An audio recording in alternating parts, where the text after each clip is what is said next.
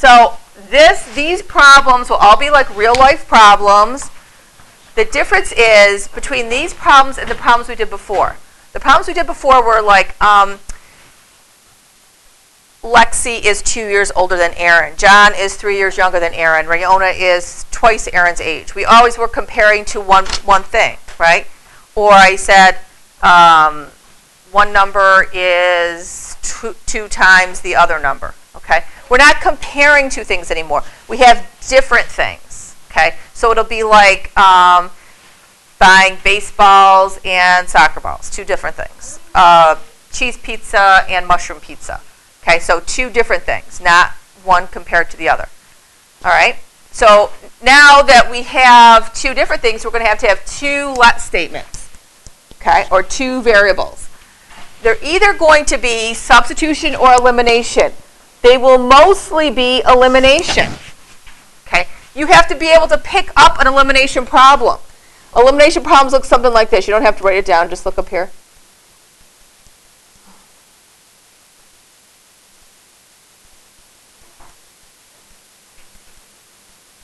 right? Where the x's are stacked and the y's are stacked and you've got to eliminate an x or a y, right? Substitution ones look like this, where one of them is x equal or y equal. And you circle one and you plug it in just like we went over on the homework, okay? So they're either going to be substitution or elimination. Most of them are elimination method, okay? Now, for the kids who weren't here last class, do you guys remember from just going over the homework what uh, Ms. Shug taught last year, elimination substitution? You remember that, John? And Lexi, you remember it too, hon? Yes? No? Okay. All right, so again, this says the sum of two numbers. So I'm going to let x equal, oop, that's a y. Let x equal one number. And y equal the other number. Okay. I always box in my let statements. Now, it says the sum of these numbers is 43. That's easy, right? Their difference is 19. There's my two equations. x plus y is 43. x minus y equals 19. Okay? So now, of course, this is elimination, right? Everybody knows elimination now. This cancels out.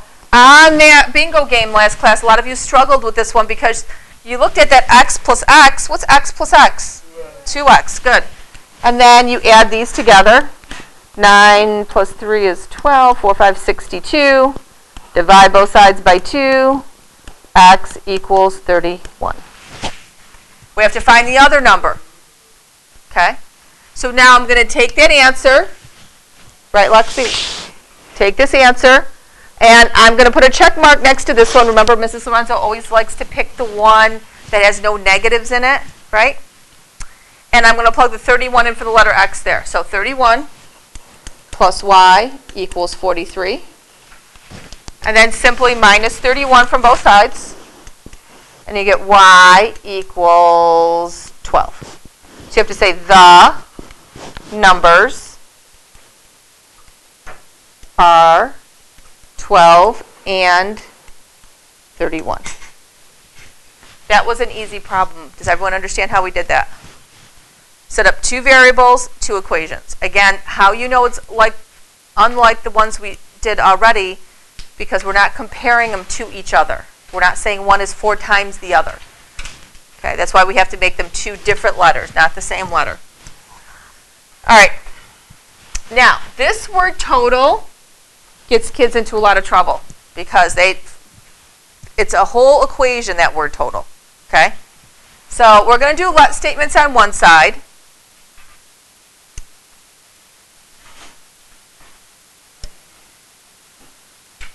We're going to box in our let statements. And I'm going to make another box over here. make this one a little smaller. Oh, okay. All right. So it says we have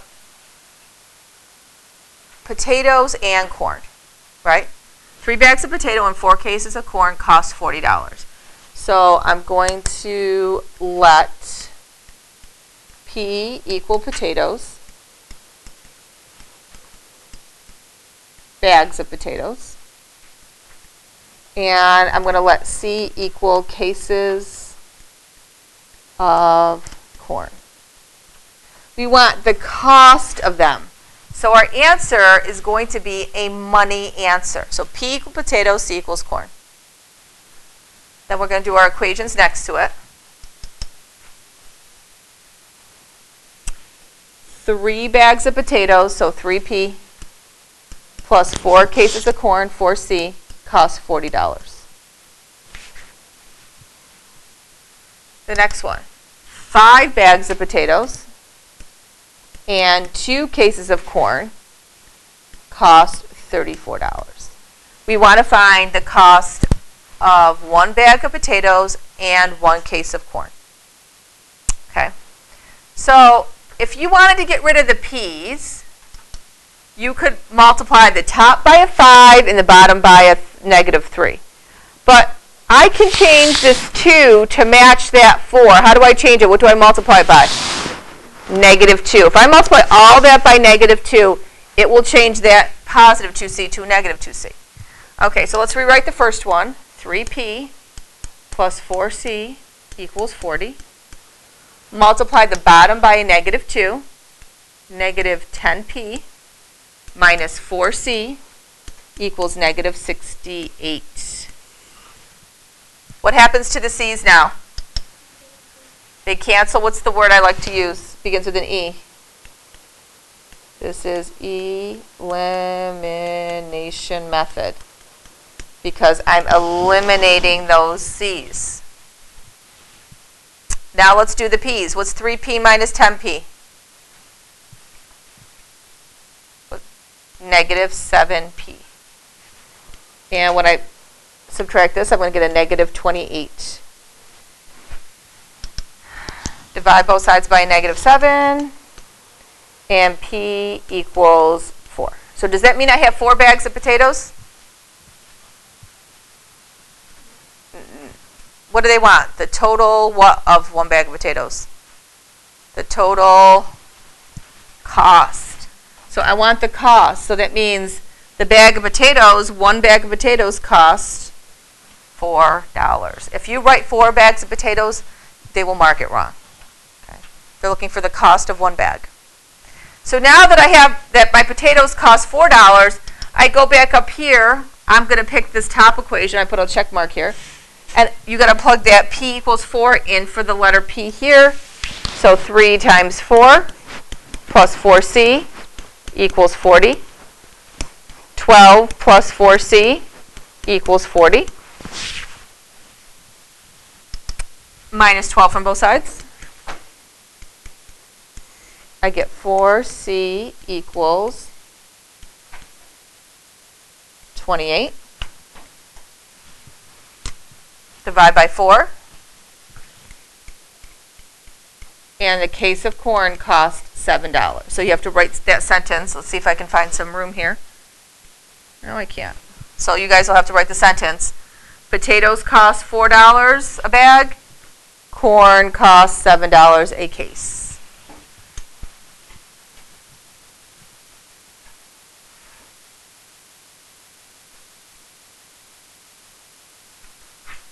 So any questions on that one? Okay, next page. Here, it says the town of rec department ordered a total of 100 baseball. Okay, so now I'm going to make two little boxes again for our let statements.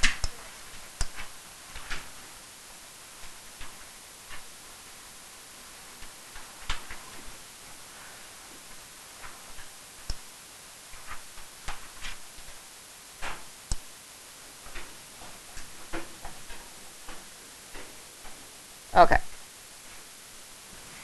All right, so our let statements.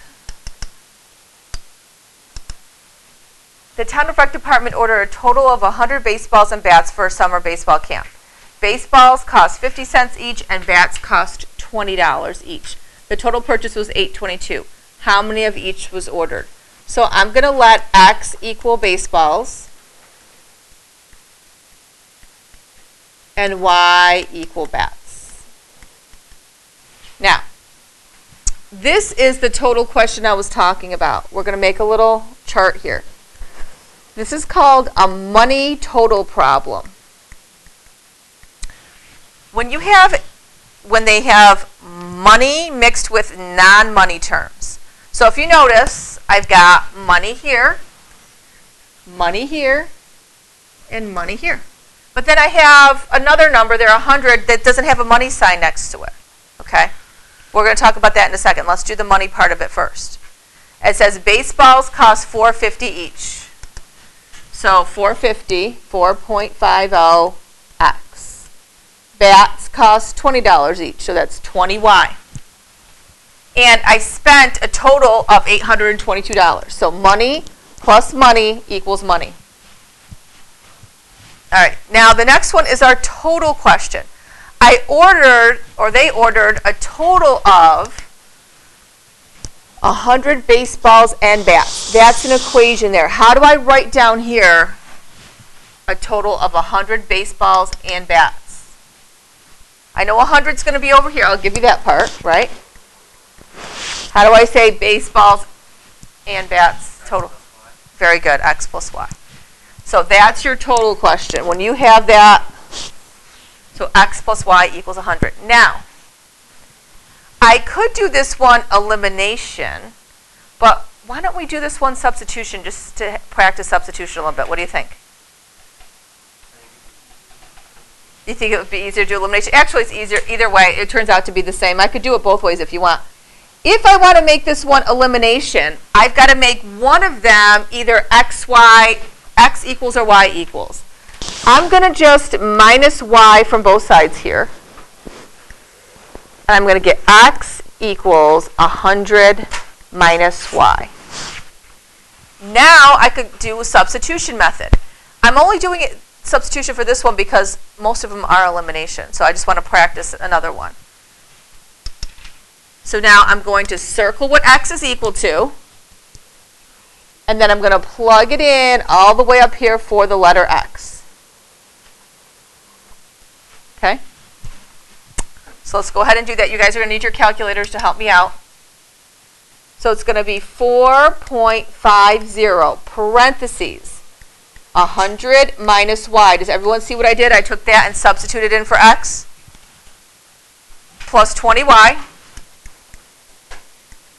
equals 822.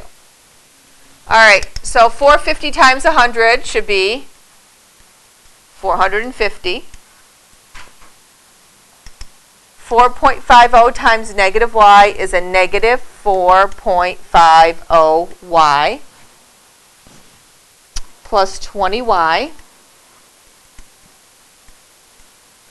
Now, you remember our DCV that we did? Distribute, combine, get the variable. What am I combining in that equation? What is a like that I can combine? The y's. So I'm just going to put this little squiggly line under those y's. I'm combining them. So this is where you're going to need your calculator. So I want someone to do this in your calculator. Minus 450y plus 20y. Tell me what that is. Negative 450 plus 20.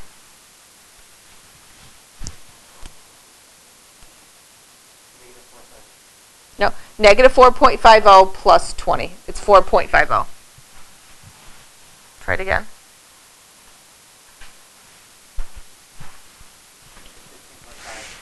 Fifteen point five y equals eight twenty two. Okay. Now what am I going to subtract from both sides? What am I going to move over? I want to get the variable by itself, so I'm going to move over my 450. Bring down your 15.5y. When I subtract, I get 372. Check that for me, John. Do 822 minus 450.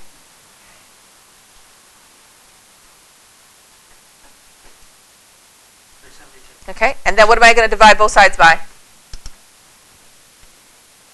15.5. Okay, now do this in your calculator. I want everyone to do it, not just John. 372 divided by 15.5.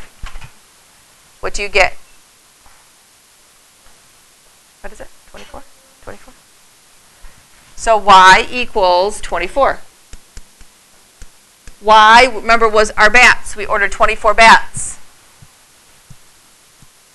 I out, now I got to figure out how many baseballs. So I got to take this and I got to plug it into one of the equations. It, this one's the easier one right here, right? Now we can do this in our head. Ready? Everybody look up here. Aaron. If I plug 24 in for y, 24 plus what gives me 100? Can anyone do that in their head? 24 plus what gives me 100? 76. Very good. So x equals 76. So they ordered sentence 76 balls and 24 bats.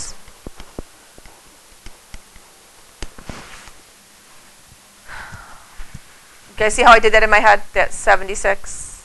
You could also plug that 24 in and then just subtract 24 from both sides.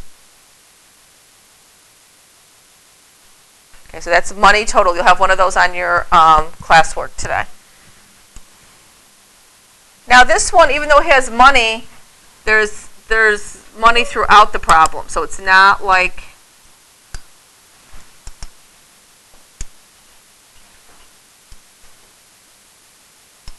So we're going to have a let statement box. And then we'll have an equation box. All right, our let statements. We have two things that we're buying here. We're buying notebooks and flash drives. So I'm going to let F equal flash drives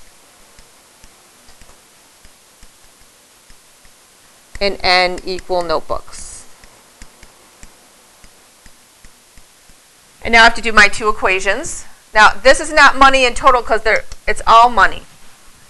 I have three flash drives and two notebooks for $15. So three flash drives and two notebooks cost 15 bucks.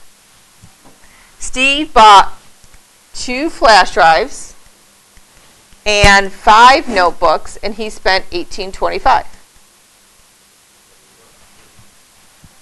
I'm sorry, Miles, what? Oh, yeah, sorry, thank you. There should be three flash drives.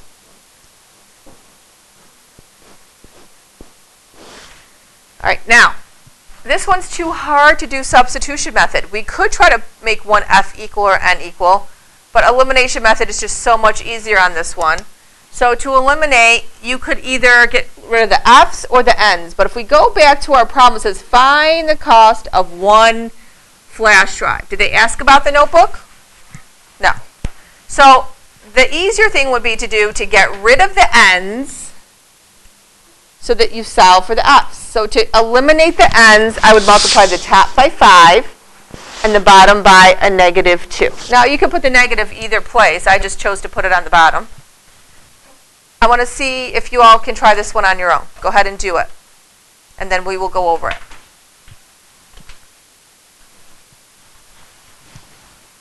Multiply the top by 5, the bottom by negative 2.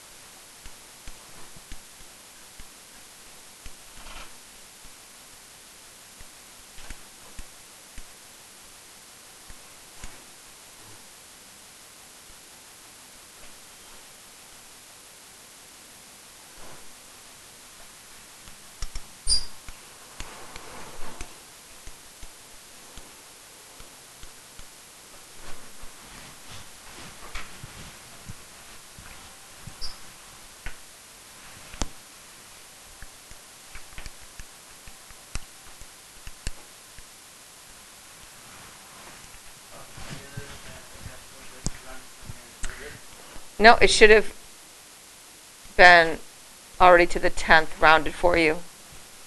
So the answer should have been $3.50. Okay? And that would be your sentence. The flash drive costs $3.50.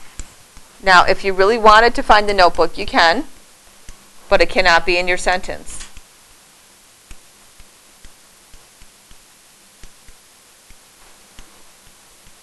What do you think? Is this easy? Yes, good. Okay. This one, Mrs. The stop one?